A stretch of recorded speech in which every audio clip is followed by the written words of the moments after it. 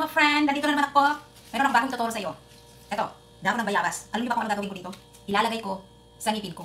Imbis na toothpaste kasi walang pambili, ito na lang. Marami pang benefits. So, siyempre, bago natin ilagay, make sure na hugasan muna natin.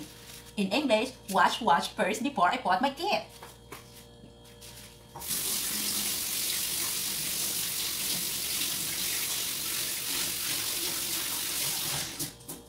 So, ito, naliis ko na. Bonggang-bongga.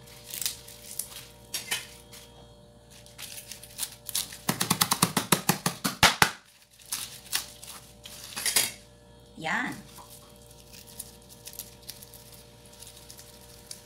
Tigas. Yun. Pag wala kang pambili ng toothpaste, itong gagawin mo. Dahon ng bayabas. Alam mo, minsan, yung ngipin ko sa harap, walang silbi, kahit malalaki. Pang display lang. Kasi tingnan mo naman, oh, hindi niya makakagat, oh. Ah, nakagat niya. Hmm? Yun.